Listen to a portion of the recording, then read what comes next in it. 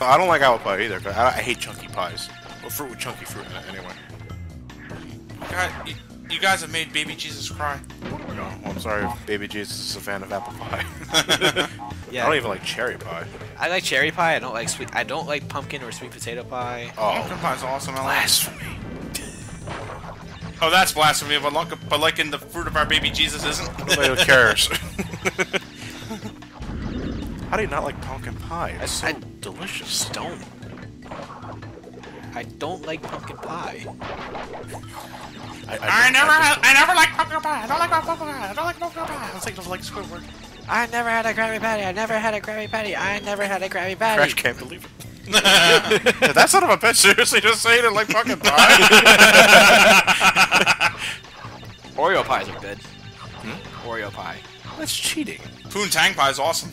Poon Oh ah, god damn it. Do you like the rock strudel, Matt? Hey, oh. I walked into that one. I grace. I will admit, I walked right into that one. Chocolate pie is good. Never ah, What had the that. hell's chocolate pie? It's chocolate pie. Oh, what's cho- what's chocolate about it? I mean, what what is the chocolate? What is the chocolate in a chocolate What pie? is the chocolate material? Are we talking Hershey bars or what?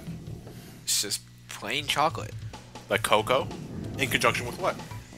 You just can't put cocoa on a, at a pie tray It's a here, chocolate pie. Well, I imagine yeast, eggs, flour, wheat. That's what I'm saying. Like, is it like chocolate bread? A chocolate pastry? Like an eclair? Chocolate strudel. I, I oh I don't like eclairs.